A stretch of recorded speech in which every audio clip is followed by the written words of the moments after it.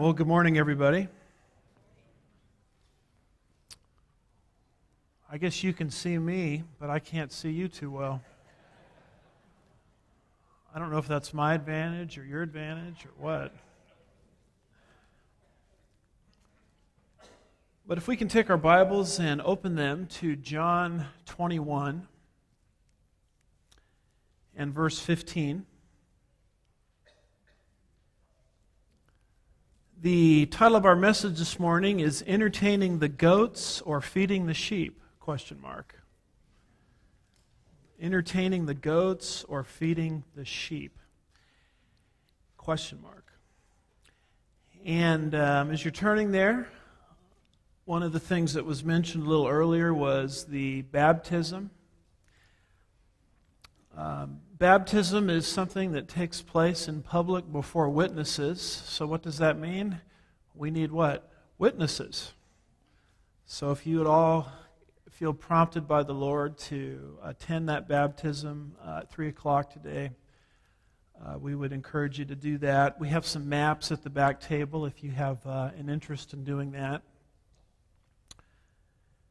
I'd also encourage you to take a look at our CD and DVD table, which is you, as you go out, it's immediately on the left. Um, Becky Denham has done a great job keeping that stocked, and so there's a lot of new stuff out there. CDs, DVDs on a lot of different teaching topics. So if you have an interest in a particular subject, feel free to take uh, whatever you would like. The next couple of Sundays, I will not be here. Uh, my family and I are taking a little time of rest and relaxation. So, next week, uh, Will Miller is going to be teaching. He's taught here before and uh, done a great job, and so he'll be back next week. I'm not sure what his topic is going to be, but it'll be very good. I'm assuming he's going to continue on in 1 John. And I'm very excited also about the 9th. I'm sorry I won't be here to see this, but you're going to have a chance to hear from Gabe Morris, who is our children's uh, director. And he's going to be dealing on the 9th with a really important topic that doesn't get a lot of teaching in the body of Christ today the Bema Seat judgment of Christ, which is the judgment of rewards. So I would encourage you to keep to think about attending that and keep Gabe and Will in your prayers as they prepare and allow the Lord to speak through them. Well, here we are in John 21. We're in that very final paragraph in the book. John, of course, writing a book about Jesus. Jesus is the Son of God as demonstrated through his miracles so that men might believe in Jesus and have the gift of life. We're at the very end of this particular book, dealing with the passion narratives, chapters 18 through 21, which revolve around Christ's death. Uh, guys in the back, we're getting a little bit of feedback here, so you might think about turning the mic down a little bit the death of Christ, and then what follows is his resurrection. Can you guys hear me okay out there? All right. And chapters 20 and 21 really deals with the resurrection of Jesus. We have the empty tomb in chapter 20. And then what follows are about five post resurrection appearances of Jesus. And we, believe it or not, are at the very end, not only of this section, but at the end of John's gospel. And uh, what we don't finish today, we'll complete when I come back on the 16th of August. But this really deals with a time of conversation and ministry that Jesus had with his two top hand-picked disciples, uh, John and Peter. It's a conversation they had. And uh, these events take place along the shores of the Sea of Galilee in a place called Tabgha. in between Gennesaret and Capernaum. I had a chance to visit that area last summer. And that's what it looks like, and that's the actual shoreline that people believe Jesus was on with Peter and John as he talked with these two disciples, as recorded at the end of John's Gospel. So we can outline this paragraph as follows. The confessions, verses 15 through 17, the cross, verses 18 and 19, the concern, verses 20 and 21, the chiding, verse 22, the confusion, verse 23, and then the confirmation, verses 24 and 25. Notice, first of all, the confessions. And even before we read these verses and get into them, I want to issue a little uh, caveat, if I could. And if I don't do this, you're going to say, why did he leave out that? I thought this was part of it. So let me explain to you what I'm leaving out and why I'm not speaking directly to it. Most teaching that you get on this subject, the Bible teacher makes a big deal about the verb agape, agapao in Greek, which means to love, and the Greek word phileo, which means to love.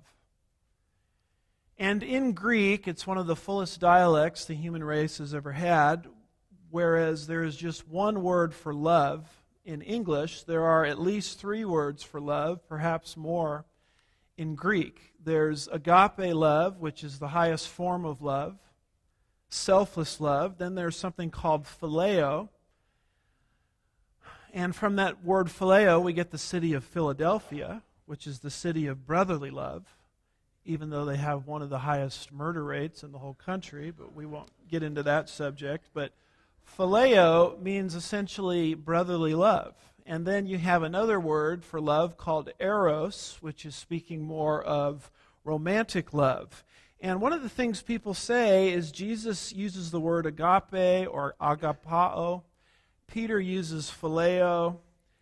And Jesus at the end of this uses the word phileo. And they make a big deal about how there were differing loves that Jesus had for Peter versus Peter's love for Jesus on account of these different words. So, 99% of Bible teaching you get on these verses brings up that subject. And let me tell you why I d- I'm not going to be bringing up that subject. I'm not bringing up that subject because agapao, to love, and phileo, to love, are synonyms in John's Gospel. What is a synonym? It's a different word, same meaning. For example, the Father's love for the Son is called agape love, John 3:35 and John 10:17, but it's also called phileo love, John 5:20. Jesus' love for Lazarus is called agape love, John 11 verse 5, but it's called phileo love, John 11:3, John 11:36. Jesus' love for John is called agape love, John 13 23, but it's also called phileo love, John 20 and verse 2. So, as you consistently study John's gospel, what you'll discover is the two are used in John's gospel as synonyms for each other. So, in any other passage we've read in John's gospel, we have not made a big deal about those different words. And because that's John's pattern in writing, I don't believe we should make too big of an issue of those words here in the passage. We can study those words by themselves and come up with different meanings to them, but I don't think that's what John is doing because for him to do that would be to talk about something which has not been a dominant subject in the rest of this book. So I just wanted to make you aware of that, and why I have made a decision not to bring up that particular subject. Having said that, though, let's take a look at these confessions. They are recorded in verses 15 through 17. If your eyes are good and can read that, there are three rounds here.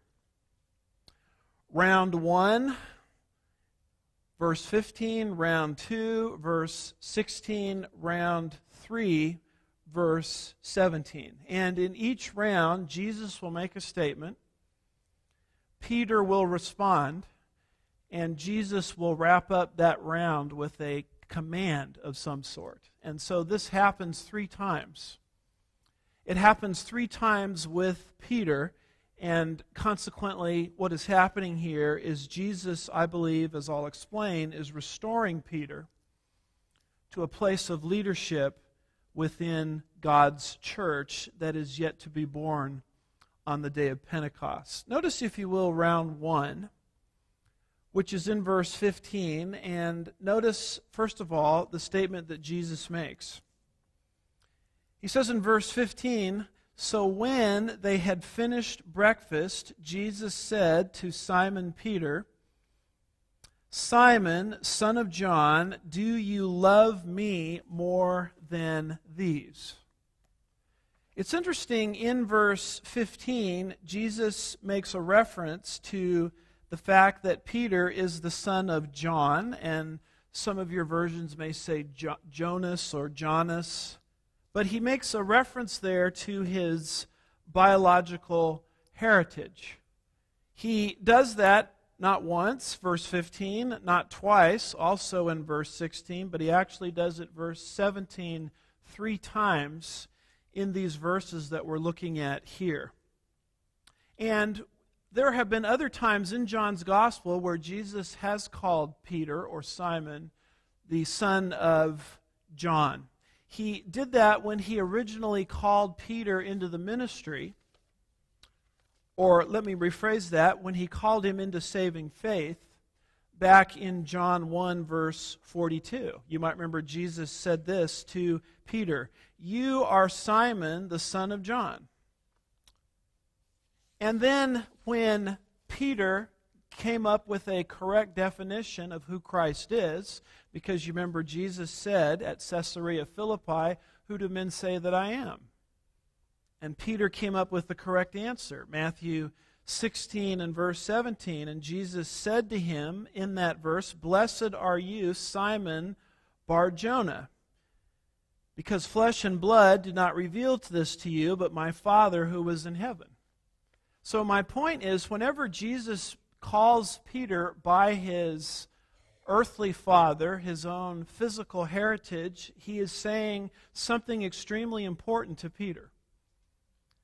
And what he does here by repeating his earthly heritage three times is this statement or series of statements that Jesus makes to Peter must be a big deal.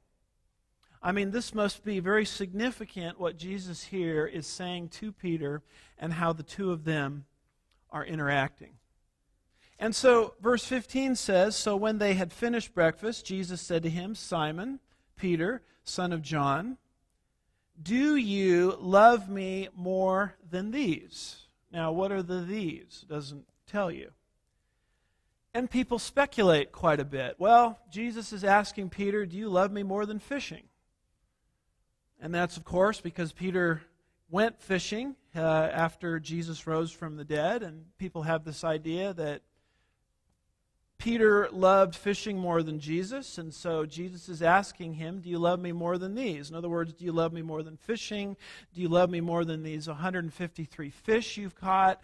Do you love me more than the nets? Do you love me more than your fishing boat? In other words, are you trying to place me, or can you, or will you place me over your career or occupation?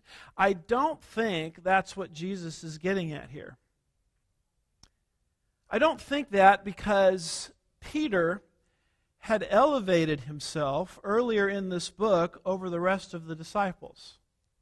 He had basically told the Lord that my commitment to you is higher than, greater than the rest of the apostles or disciples. This is a statement Jesus, excuse me, Peter made in the upper room discourse. John 13, verse 37 says this Peter said to him, Lord, why can I not follow you right now? I will lay down my life for you. In other words, unlike all these other guys that you've picked to be with yourself, I'm different. I'm going to lay my life down Now, this is not recorded here in John, but in Matthew 26, verse 33, we read these words Peter said to him, Even though all may fall away because of you, I will never fall away. So, in so doing, he was elevating himself over the rest of the disciples. And he, in essence, was speaking out of human power. He was speaking out of human willpower he was speaking out of human energy and he says lord i'm, I'm more committed than everybody else in this room i'm more committed than the other disciples and everybody else will let you down but not me and of course as we've studied the story we know that peter fell flat on his face didn't he he failed not once not twice but three times. And consequently, that's why we have three rounds here. Jesus is restoring Peter not once, not twice, but three times. This is a full restoration of the apostle Peter. Do you love me, Jesus asked, more than these, more than the rest of the disciples? Because you promoted yourself over the rest of them, and I'm just trying to figure out if it's really true, Jesus says to Peter. And uh, I like Peter's response there in verse 15. It, it shows growth in Peter. It says there in verse 15, he said to him, Yes, Lord, you know that I love you. Now, notice that Peter doesn't, doesn't say, Lord, I love you based on my track record. Why couldn't he say that? Because there was no track record. There was just abject failure. But Peter does not appeal to his resume. What he appeals to is Jesus' omniscience. He says, Lord, in essence, you know everything. You, you know my heart. You know that I love you. And yes, I did fail, but my heart of hearts is a heart of sincerity. And quite frankly, I take Peter at his word. I think he did love the Lord. I think his motives were sincere, although somewhat misguided, and he was relying upon the wrong source of power to fulfill his destiny in God. He was relying upon human ingenuity, human energy. And you see, as will be hinted at in verses 18 and 19, Peter has a huge destiny in God to fulfill. One of the things that's going to happen in his life, this would happen about 30 years after this conversation, is Peter himself would be crucified to glorify Jesus. And how can a man relying upon his own power fulfill that calling? Jesus has to get Peter to a point of dependence and brokenness. And once he arrives at that point, he will discover that he can become usable in God as he learns not to rely upon himself, but upon God only. But his heart of hearts is he really was sincere. And you see, there are many people like this in the body of Christ today. They are very sincere and they really want to live for God. They simply, though, are trying to tap into the wrong source of energy or power to fulfill their calling. They're relying upon themselves. And God has never called us to rely upon ourselves in our walk with Him. He has given us resources and riches. And it is not it's only as we learn to appropriate those moment by moment by faith and yield to them and walk in obedience to him that we learn that we have the ability not in ourselves, but in God to fulfill our callings in Him. But Peter's motives were pure. He said, You know, Lord, you know the truth about me. And this leads now to a command of Jesus to Peter. And notice what he says there at the end of verse 15. He said to him, Yes, Lord, you know that I love you. Now here's Christ's response. He, that would be Jesus, said to him, Tend my lambs. The verb tend, translated tend here in the New American Standard Bible, is a command. It's not a suggestion, it's a command that the Lord gave to Peter. We'll talk about what that command means in just a moment. Also, notice there in verse 15 that Jesus refers to those that would come to faith in him as his lambs. They're also called sheep down in verse 16 and verse 17. And we have seen in our lives so many pictures of Jesus with the sheep, and we say, Isn't that a cute picture? And isn't it all cozy and cute and cuddly that he analogizes us to sheep and, you know, gives you the, kind of the warm fuzzies sort of thing? But the fact of the matter is, when Jesus refers to his people as sheep, that, beloved, is not a compliment. Sheep or lambs are some of the dumbest animals that have ever walked the face of the earth. In fact, sheep or lambs will follow each other right off a cliff. They have virtually no sense of discernment. They are actually some of the most defenseless creatures that God has made a wolf can have their way with a sheep or a lamb anytime the wolf wants to, unless there is a shepherd there protecting the sheep from the wolf or the lamb. Defenseless and dumb is the analogy with sheep. And consequently, when you understand the defenselessness of these animals, you begin to understand why God has raised up shepherds why God has raised up pastors. Because the pastor's job, as I will show you in just a moment, is to protect the sheep from the wolf. And Peter is moving into this role not just as an evangelist, he had been an evangelist up to this point in time.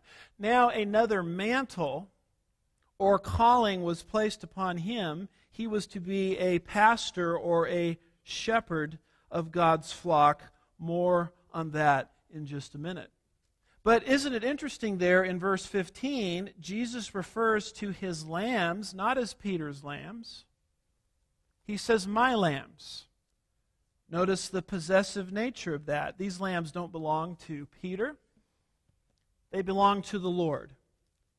And spiritual leaders need to understand that. The people that you are ministering to you do not belong to you. They do not belong to the church. They ultimately belong to the Lord Jesus Christ.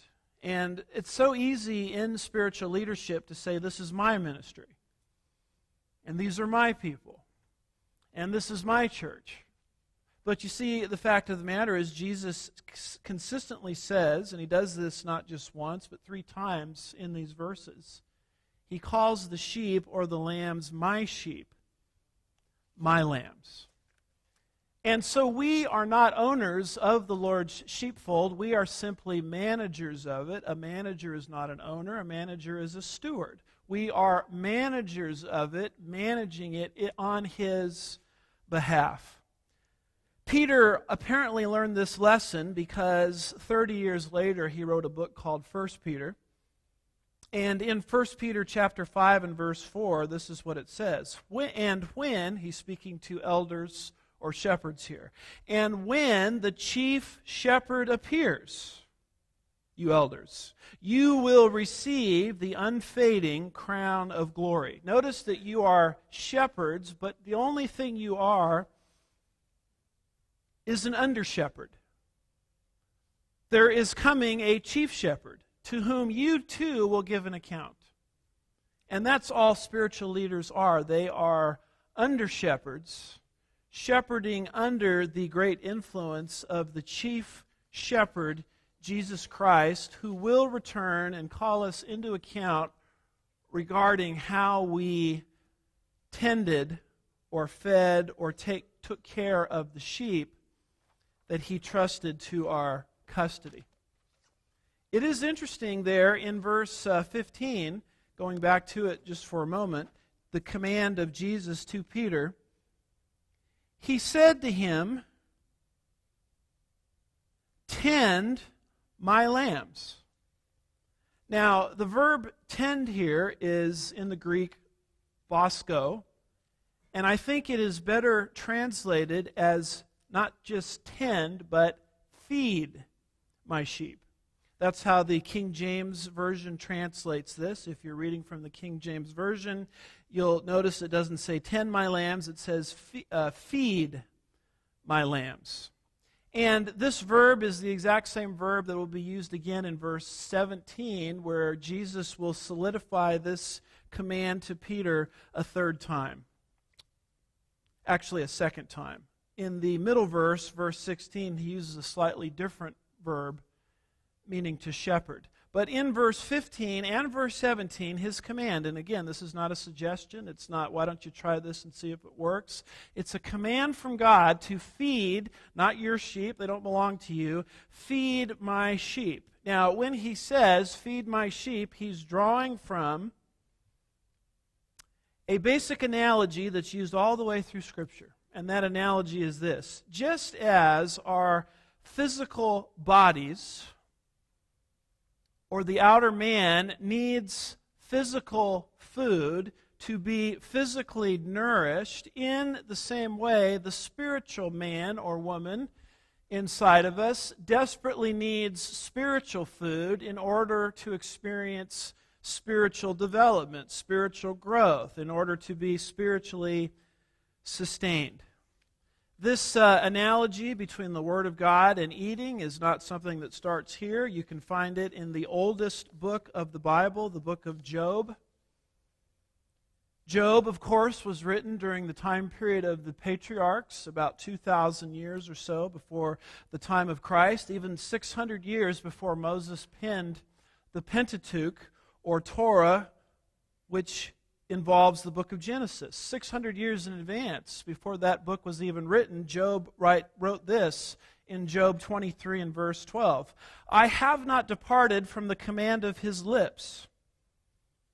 I have treasured the words of his mouth more than my necessary food. Job, at the very beginning, said, Just as my body needs physical food to be physically sustained my spiritual man within me needs spiritual food to be spiritually sustained. And therefore, Job looked at the Word of God as tantamount or equivalent to daily food. This is not just something Job spoke of, the book of Deuteronomy speaks of this. In Deuteronomy 8 and verse 3, we read this He humbled you and let you be hungry, and fed you with manna, which you did not know, nor did your fathers know, that he might make you understand that man does not live by bread alone, but lives by, anybody know the next word? Every. Everything that proceeds out of the mouth of the Lord. Man does not live by bread alone, but by every word that proceeds from the mouth of God. Jesus apparently strongly believed in the, the veracity of that scripture because he quoted it to ward off Satan in Matthew 4 and verse 4. In the three temptations, Jesus came under the most severe temptations a human being has ever undergone. And it is very interesting to me that he felt that the book of Deuteronomy, most Christians haven't even read the book of Deuteronomy. He felt that what was in the book of Deuteronomy was sufficient to ward off Satan's temptation. Because in Matthew 4 and verse 4, he quoted Deuteronomy 8 and verse 3. Matthew 4, verse 4 says, But he answered and said, It is, it is written, Man shall not live on bread alone, but on, what's the next word? Every word that proceeds from the mouth of God. Peter apparently got the memo or the message because 30 years later in his little epistle called 1 Peter, he wrote these words 1 Peter 2, verse 2 Like newborn babies, long for the pure milk of the word that you may grow in res- up in respect to salvation. He draws an analogy here with a newborn, an infant. I remember when uh, our daughter was born, we brought her home. I was astonished at the capacity of her vocal cords. How this little small child could fill up the house with noise at will. And she would wake up in the middle of the night just screaming at the top of her lungs. And as any parents know, she was not interested in us coming in there and giving a theology lesson. She's not interested in the Trinity or the hypostatic union or whatever. She's interested in being fed and she wants to be fed now. You see, and Peter says that is to be the attitude of the newborn child of God to the Word of God. Because just as their body needed physical milk to physically mature correctly, the spiritual man within them desperately needs to be fed in order to arrive at maturity and even to grow. Isn't it interesting how this analogy can be found throughout the scripture? Just as we need physical food to be physically sustained, we need spiritual food, defined as the Word of God, to be spiritually sustained. Now, what would you think of somebody who comes to you during the week and says, You know, I'm really tired? I'm really fatigued, I'm really worn out, I'm really run down, and you say to them, Well, when, when, when was the last time you had a meal? When was the last time you ate? And they say, Let's see, gee, I had a meal uh, two weeks ago. You would say, What's wrong with you? You're supposed to eat every single day. Well, we have people in the body of Christ that come in perhaps for counseling and they say, I'm worn out, I'm fatigued, I'm burnt out, Christianity doesn't seem to be working for me. And the simple question is, well, when did you eat last? I mean, when was the last time you got into the presence of the Lord and opened the scripture and started to read it for yourself? When was the last time you went to a church that faithfully teaches the Word of God so you could be fed correctly? And just as we really wouldn't feel sorry for somebody that's fatigued because they haven't eaten, why should we feel sorry for people who are downtrodden in the Christian life simply because they're malnourished? And the reason they're malnourished is it's their own fault. So you can see this parallel that's drawn here. And once we begin to understand this analogy and this parallel, we understand what Jesus is saying to Peter here as he moves him into a role as not just an evangelist, but as a shepherd. He says, by way of command, feed my sheep. What is the primary responsibility and calling of a pastor? It is to feed the flock of God with the Word of God. 2 Timothy 3, which is a pastoral letter, Paul writing to Timothy, a pastor, teaching Timothy how to be a pastor, says this in 2 Timothy 3, verse 16 All scripture, notice the word all, is inspired by God and profitable for what? For teaching, for reproof, for correction, for training in righteousness, so that the man of God may be equipped for every, notice the word every there, for every good work. And that's why he tells him in chapter 4, verse 2 preach the word. Be instant, in season, and out of season, because this is your calling as a spiritual leader. The book of Ephesians, chapter 4, verses 11 through 16, tells us what the calling of spiritual leaders is exactly. It says in Ephesians 4, verses 11 through 16, speaking of spiritual gifts in the body of Christ, He gave some as apostles, some as prophets, some as evangelists, some as pastors and teachers. For what purpose? For the equipping of the saints for the work of service to the building up of the body of Christ until we all attain the unity of faith and of the knowledge of the Son of God to a mature man, to the measure of his stature which belongs to Christ. Why did God put the gift of pastor teacher in the body of Christ? It has the purpose of equipping the saints so that they might grow correctly. And as they grow correctly, what they discover is they then begin to take on the work of ministry. Healthy sheep beget other sheep. And you find that if you're under the feeding of the Word of God, either through listening or also reading it on your own, you find that you have the fortitude and the equipping that you need to fulfill your calling in God, whatever that calling is. But it is the function of the shepherd to feed the flock of God so that they may be equipped. And what equips us? It's back to 2 Timothy 3, verse 17. All scripture is inspired, verse 17, so that the man of God may be adequately equipped, not for some good works, but for every good work. You say, well, is this just a New Testament idea, or this idea of spiritual leaders feeding God's flock with His Word? Is it an Old Testament idea as well? In fact, it's an Old Testament idea that seems to be just reviewed a little bit in the New Testament.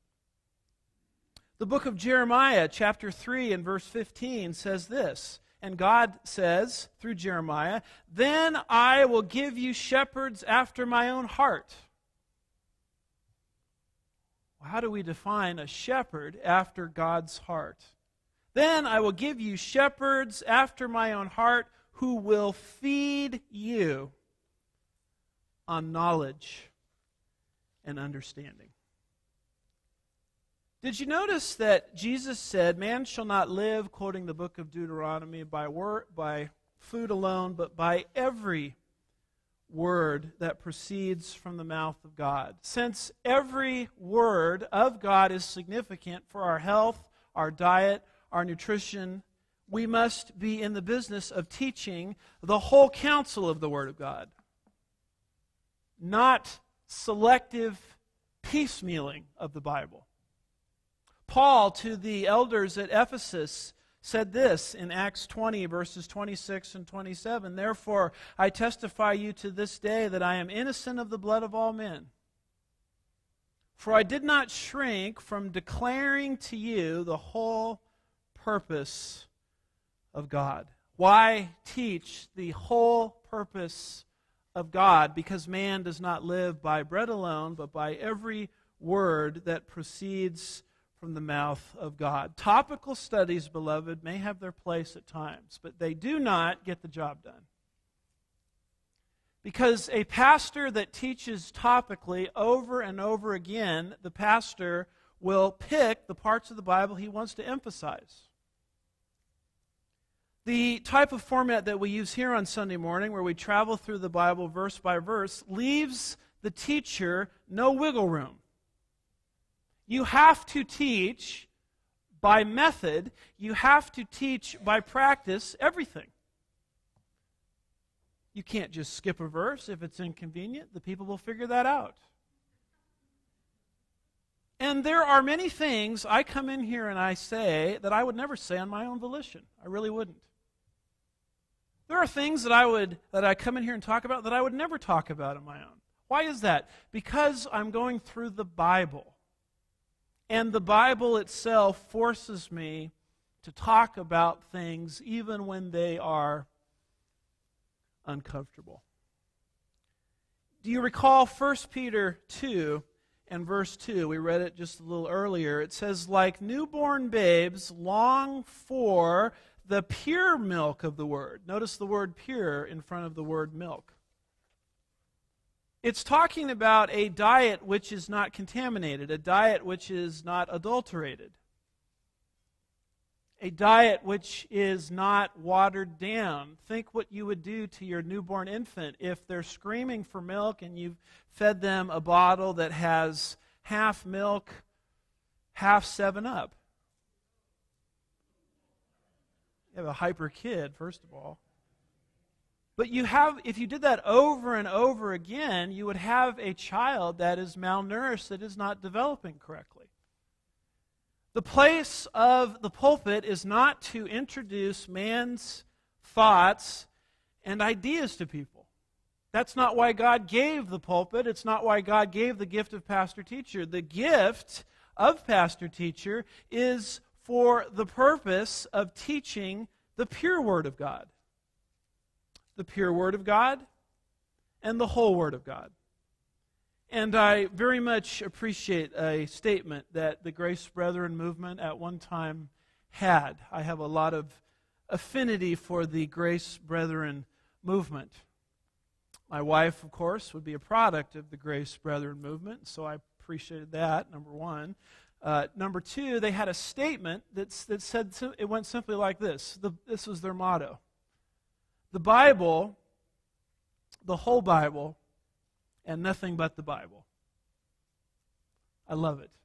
Because that to me sums up what Jesus and the scriptures are saying here. It sums up our philosophy of ministry here at Sugar Land Bible Church. You have to understand something that there are churches all over this world that you will agree with in terms of their doctrinal statement. They've got the Trinity right, they've got the virgin birth right, they've got the deity of Christ right, they've got all of the doctrines correctly, and yet Satan has made an inroad into that church not by changing their doctrine, but by changing their philosophy of ministry, changing their practice. Where the pulpit is looked at as a place where you cast the vision for the church casting a vision for the church is something that comes out of Business 101. That's what CEOs do. That's what consultants do. That is not at all something that the pulpit should be in any church. We're not here to cast a vision. We're here to teach the Bible line by line, verse by verse, not because I thought of this idea. This is a command by Jesus to Peter, a man who was destined to become a great pastor in the providence and the planning of God. And oh, how this is neglected today. The prophet Ezekiel, all the way back in the 6th century, made this statement. He said, Son of man, prophesy against the shepherds of Israel. Now, that's sort of scary when God is prophesying against you. Prophesy and say to those shepherds, Thus says the Lord God, Woe, shepherds of Israel, who have been feeding themselves. Should not the shepherds feed the flock? Sort of thing Jesus is getting at here. Should not the shepherds feed the flock? And yet, what is controlling today? Largely in America, sometimes in other countries. The philosophy of ministry of so many churches. It is a philosophy that I believe is verbiage uh, that is coined by Charles Haddon Spurgeon, which says this feeding the sheep or amusing the goats. Sermon, uh, Spurgeon rather, had a whole sermon under this title Feeding the Sheep or Amusing the Goats. Question mark. What controls the church today is not Acts 20, verses 26 and 27. What controls most places today is this structure. You say, what in the world is that? That's Maslow. You may have heard of this man, Abraham Maslow. He developed a theory called the hierarchy of needs. And what Maslow said is all human beings have uh, about four or five needs that they, they need met. Whether people are saved or not, they have these five needs. The first need people have is physiological needs to get food, water, warmth. Then, when they get those needs met, they try to get their safety needs met, which is security and shelter. Then, once those needs are met, then they get their belonging needs met. That has to do with friends, family, and community. And once those needs are met, then they have to have their esteem needs met. That deals with recognition, achievement, these types of things. And finally, when you get to the very top of the hierarchy, man reaches this level of self actualization where he is fulfilled. And this is a fascinating theory, but let me tell you something. Abraham Maslow is long dead, but these words are not just books in a book sitting on a library shelf somewhere. This controls churches, this structure. It, and I was a business major and I taught business colleges, so I know a little something about this. This is what you do in marketing. Because every person has all of these needs, you develop a marketing strategy that appeals to that level of need in people. So, for example, if you're trying to sell a home security operation or service, you might appeal to their safety needs. And you develop what the strategists call a marketing mix around different needs that people have, and that's how you market. It's under the assumption of Maslow's hierarchy of needs. I personally think it's a very interesting strategy in the world of marketing. My problem is when it comes into the church and it begins to govern the church. How does it govern the church? What you do is you pick topics that appeal to these levels of need in people. We know that all human beings, whether they're saved or unsaved, have these basic needs. So, what you start doing is you go through the Bible piecemeal. You go through the Bible selectively. You grab a verse here or grab a verse there that may relate to physiological needs, safety needs, belonging needs, self esteem needs, and you build a sermon series or sermon around those subjects.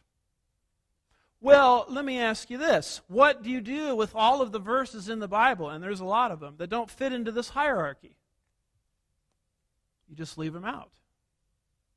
Because what you have to do, and they call this relevant preaching, what you have to do is design the message of the church so that it reaches unchurched Mary and Harry. And the only way you're going to get them interested in Christianity, and the only way you're going to get them interested in the life of the church, is in essence what you have to do is you have to selectively use the Bible to reach them. Well, what if I teach a sermon series on sin? Don't do that. That's not going to reach unchurched Mary and Harry because sin it doesn't fit within their recognized felt needs. What happens if I teach a sermon series on prophecy?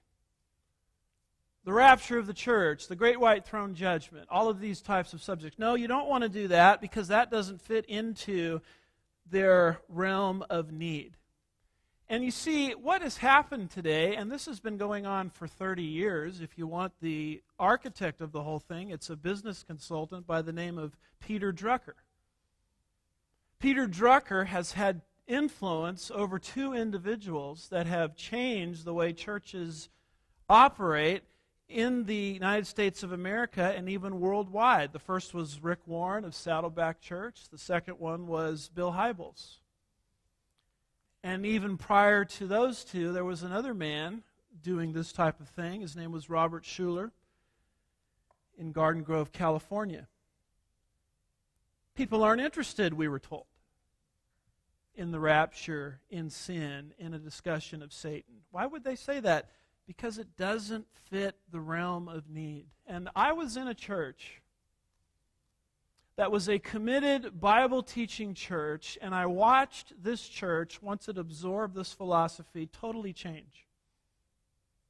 People who wanted to teach prophecy were treated as sort of second class citizens. Don't bring that up. Don't be too aggressive about that because, after all, that will not meet needs. That will alienate unchurched Mary and Harry. So, the goal here is you design a church according to the value system of the world. And then the world will come. Now, guess what? It works. You can pack buildings this way, you can pack stadiums this way. But the fact of the matter is, what do you really have at the end of the day? What do you have once this strategy is implemented? You don't have the church anymore. You have a crowd of people. You have a crowd of people where you, you get up in front of them and you say one biblical thing, and it's enough to drive them to the door. because it doesn't fit the hierarchy of needs. I believe that this issue is critical. Do you realize how many emails I get on a weekly basis from people all around the country and sometimes in different parts of the world? And they say this Tell me where we can find a church that teaches the Bible. Tell me a church where they have a model of ministry that's like the one you guys have at Sugar Land Bible Church. I live in, and they give some location that I've never been to. Tell me where there's a church like that. And my answer is, I have no idea. I don't know your area. I give them some potential websites they could go to. But the fact of the matter is, there are people all over the country looking for a Bible teaching church. Why is it that every church I go into, it sounds the same? Why is it that the same sermons seem to be preached over and over again? The answer is Maslow's hierarchy of needs, because there's only so many Bible verses you can use in this system. Eventually, you run out of verses. You got to recycle over and over again. It's, it's a tragedy. It, to me, is, is heartbreaking. Because that is not the calling of God on spiritual leaders, nor is it the calling of God on the church. The calling of God on the church through the pulpit is to teach the full counsel of the Word of God. If people show up, great. If they don't show up, so be it. But the fact of the matter is, we are never called at the end of the day to be successful. I cannot find a single shred of scriptural proof where God is evaluating people based on success.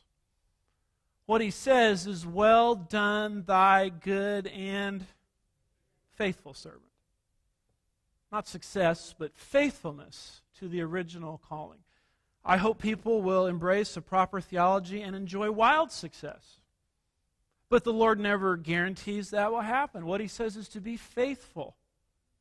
And this is what Peter is being called to. And how important it is to have a place in this fallen world where our minds are constantly under siege by the adversary how important is it to play is it, is it to have a place to be taught correctly and fed the word of god so that you can grow thereby and handle the difficulties and adversities of the coming week? Peter do you love me? Very simple thing jesus says to peter feed my lambs and then we move into round two Notice, if you will, verse 16. You have the same question and the same answer. He said to him again a second time, Simon, son of John, do you love me? Same question. He said to him, Yes, Lord. That's Peter's answer. You know that I love you. And then notice Christ's response to him in verse 16 he said to him, Shepherd my sheep.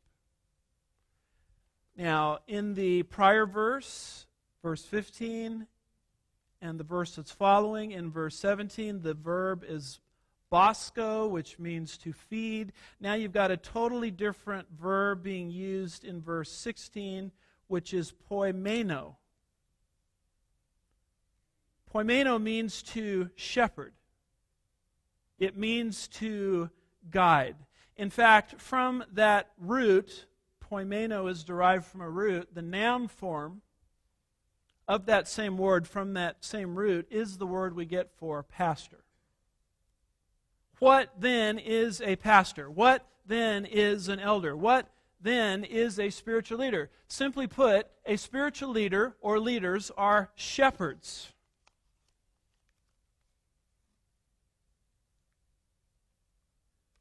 If you want to know what a spiritual leader is supposed to be doing, what you look at is how a shepherd functions in the natural world. Sheep are dumb and defenseless, as we have said. Therefore, the shepherd has a critical role in the well being of these dumb and defenseless sheep. He is to, and these all begin with the letter G. Number one, graze the sheep. That's feed them. And in this case, we're talking about being fed with the Word of God. Number two, a shepherd is to guide the sheep. You direct them. Now, sometimes the sheep won't want to listen to you, but that's still your calling to guide them the best you can. And then, number three, you are to guard the sheep. Guard them from what? Guard them from whatever is coming in to threaten them. In the natural world, the shepherd protects the sheep from the wolf. Of course, uh, Satan is analogized to a wolf, isn't he, throughout the scripture? Satan has all kinds of designs on the church, all sorts of havoc he wants to re, uh, wreak in the life of the church, all sorts of things he wants to bring into the church to disrupt the development and the growth of the people of God. The function of the shepherd pastorally is to protect the sheep from satanic attacks. People want to come into Sugar Land Bible Church and they want to teach all kinds of strange doctrines. And the fact of the matter is, we will not allow such a person to teach in this church. You say, well, that's awfully closed minded of you. No, it's biblical. And in every single classroom we have, we try to have an elder present to know exactly what's being taught. And a lot of our elder meetings are spent talking about who's teaching what to what group, who's, who's overseeing. Are there strange ideas coming into these small groups, these cell groups, these Sunday school classes? That's not closed minded. That's what shepherds do. They graze, they guard, and they guide. The fact of the matter is, there are child molesters that want to come into a church. I mean, think about it. If you're a child molester, a church is a great place to operate, isn't it? A lot of unsupervised kids. We want to protect the flock from physical harm. Part, part of the way we do that is through our two person policy in every room where children are. Can't tell you how many big name churches I know of became the target of sexual predators. That's part of guarding the flock as well, doctrinally and physically. Because at the end of the day, isn't that what the Lord does for us? Doesn't Psalm 23, verses 1 through 6 say, The Lord is my shepherd, I shall not want. He makes me lie down in green pastures. He leads me beside quiet waters. He restores my soul. He guards me in the paths of righteousness for his name's sake. Even though I walk through the valley of the shadow of death, I will fear no evil, for you are with me. Your rod and your staff, they comfort me. You prepare a table for me in the presence of my enemies. You have anointed my head with oil. My cup overflows. Surely goodness and loving kindness will follow me all the days of my life, and I will dwell in the house of the Lord forever. Go through Psalm 23 today. It's just six verses. And every time you see a reference to guard, circle that. And every time you see a reference to guide, circle that. And every time you see a reference to graze, circle that. Because the Lord is the ultimate shepherd. That's what he does for us. This is what shepherds do for their sheep. How could it be any less for those under shepherds? Because you see, Peter's ministry is about to change here. As I mentioned before, prior to this point in time, his calling was an evangelist. I don't think that calling ever stopped. Jesus in Matthew 4, verse 19, said to Peter, Follow me, and I will make you what? Fishers of men. But you see, the Lord here is adding another dimension to the calling of Peter. Jesus said in John 10, verse 14, I am the good shepherd. I know my own, and my own know me. Jesus, the ultimate good shepherd, was leaving. He was ascending back to the Father not many days from this time period. And consequently, the Lord, in his absence, would need under shepherds to guard, graze, guide the flock in his absence. And Peter, whether he's known it or not, is a different matter. But all this time, the Lord has been preparing him for that role. And then uh, we come to round three. And with this, we will conclude. Notice verse 17. Jesus gets onto this subject a third time. Must be important to him. Verse 17 He said to him the third time, Simon, son of John, do you love me? Exact same question. Then comes an answer from Peter verse 17, Peter was grieved because he said to him the third time, Do you love me? And he, that would be Peter, said to the Lord, Lord, you know all things. You know that I love you. Now, many people, when they get to this verse, say Peter was hurt because the Lord in verse 17 is no longer using agape but phileo. So Peter, sensing that shift from one level of love to a lower level of love, became upset. But, beloved, that's not what this passage is saying at all. It specifically says Peter was grieved because, not the change of wording, but because this was the third time the question was asked. That's what grieved Peter has nothing to do with the difference between agape and phileo. It has to do with the fact that the question came at him three times. And why three times? The Lord is counteracting Peter's threefold denial. Peter denied the Lord three times. The Lord is allowing Peter to reaffirm his love and commitment to the Lord three times. Peter's denial of the Lord took place in front of witnesses, as you study it in John 18. Every time he denied the Lord, he did it in front of somebody else. The Lord is reaffirming Peter in the presence of witnesses. One of those witnesses is John. Peter denied the Lord before a charcoal fire. In John 18 and verse 18, you will see a reference to the charcoal fire. It's the Greek word anthrakia. And isn't it interesting how these events take place before a charcoal fire? You'll find a reference to that in John 21, verse 9. That's what Jesus was preparing the meal on as he ministered to these disciples. So then, when he got out on the dry land, they saw a charcoal fire already laid and fish placed on it and bread. Same exact Greek word on Thrakia. What is Jesus doing with Peter? He is leading this man through a complete and total restoration. Because Peter was sincere, and yet he failed.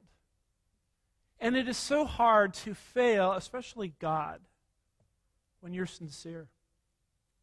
And the reason Peter failed is the reason we failed the Lord. We rely upon the wrong source of power.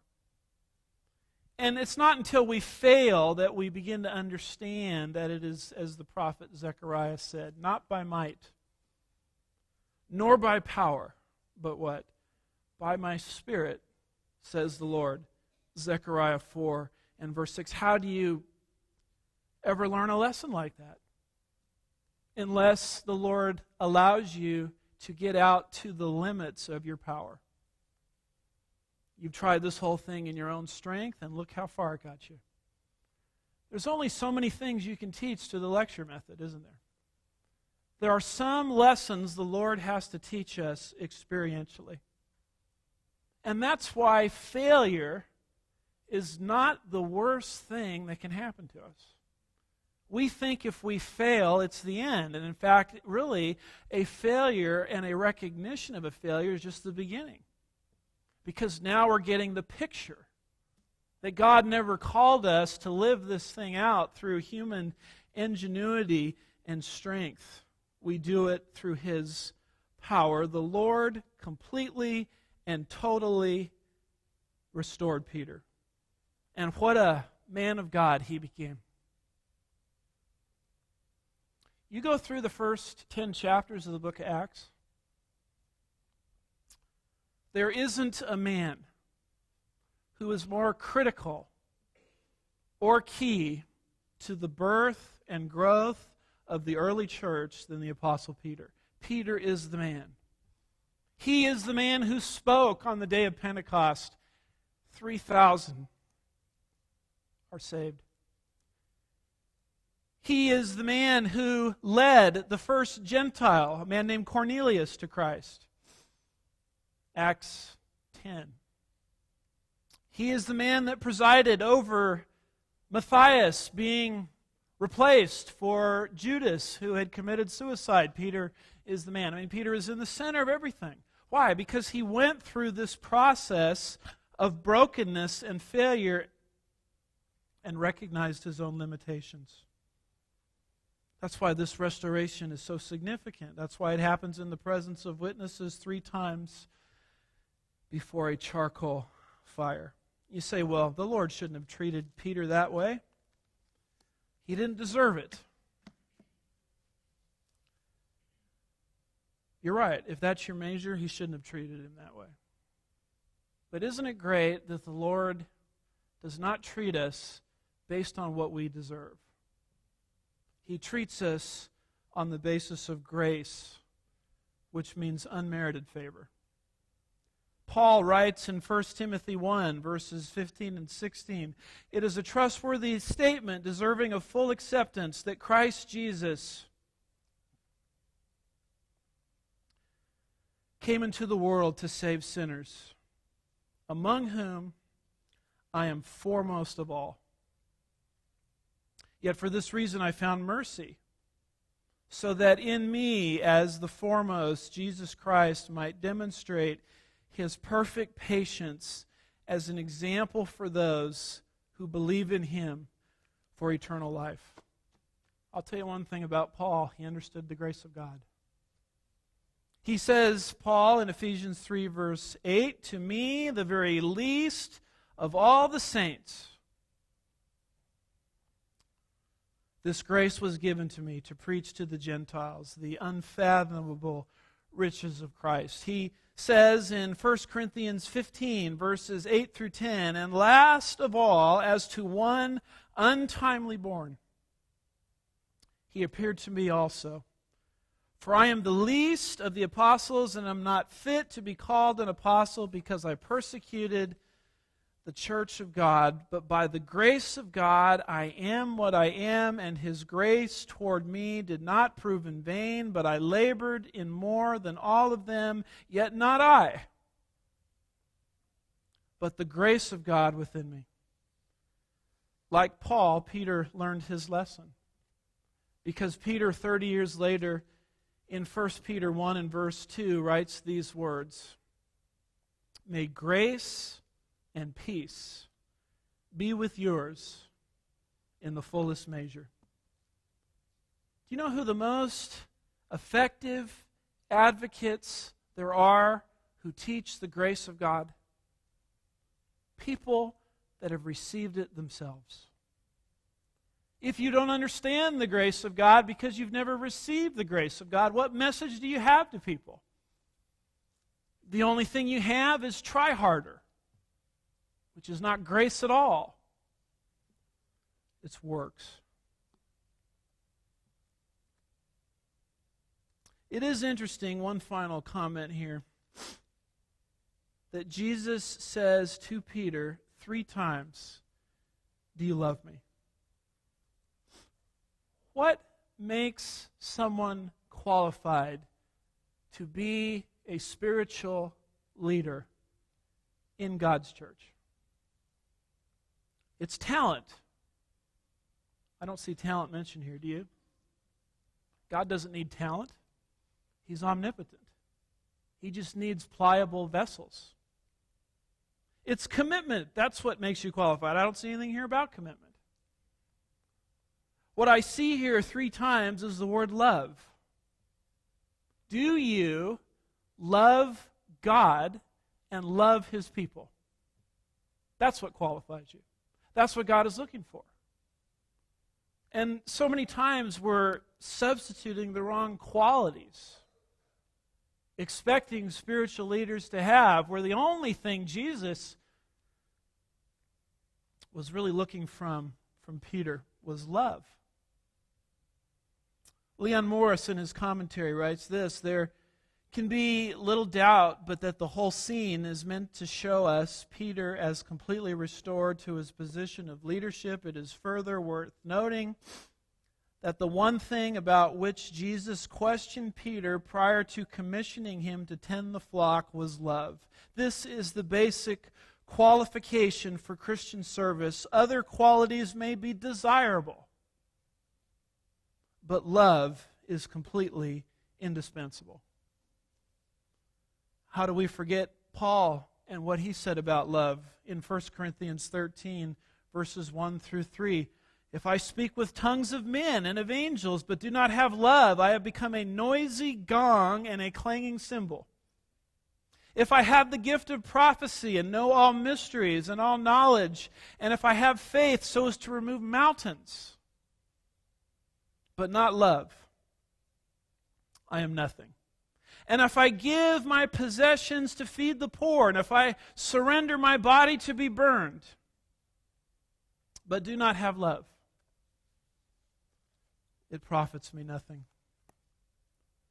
May God help us to develop and grow into the kinds of people that He is looking for and wants to use in these last days where there is not a greater need that I can think of for true spiritual leadership to stand up and be recognized. Are you that person? That's what God's looking for. Perhaps you're here today, you've never even experienced the grace of God. You experienced the grace of God the first time by believing in his son. How does believing in his son allow you to experience the grace of God? Because you're receiving what he has done as a free gift. And you're recognizing that you cannot earn your way into his presence, God's presence. You have to come with humility of spirit, which is necessary to receive a gift. And the only way you can receive a gift is by faith. You know, it's, it's easier to give a gift than receive it. Because reception of a gift, which is a true gift with no strings attached, involves a system that has no works or merit associated with it at all. And our prayer for you is that right now, as I'm speaking, you re- receive God's gift, which is yours. What Jesus has done for you has canceled every sin you have ever committed, are going to commit this afternoon. Hopefully, not right away this afternoon, but. And the sin you might commit tomorrow or the rest of your life. Jesus paid for all of that. And as the Spirit of God convicts you, respond to the convicting ministry of the Spirit, and as best as you know how, in the privacy of your own mind and the quietness of your own heart, receive the grace of God. It's not something you have to walk an aisle to do, join a church to do, give money to do, raise a hand to do, pray a prayer to do. It's simply a moment of privacy between you and God where you're trusting in the provision of Jesus Christ and Jesus Christ alone for the safekeeping of your soul and your eternal destiny. If it's something you need more information on, I'm available after the service to talk. Shall we pray? Father, we're grateful for this ancient conversation.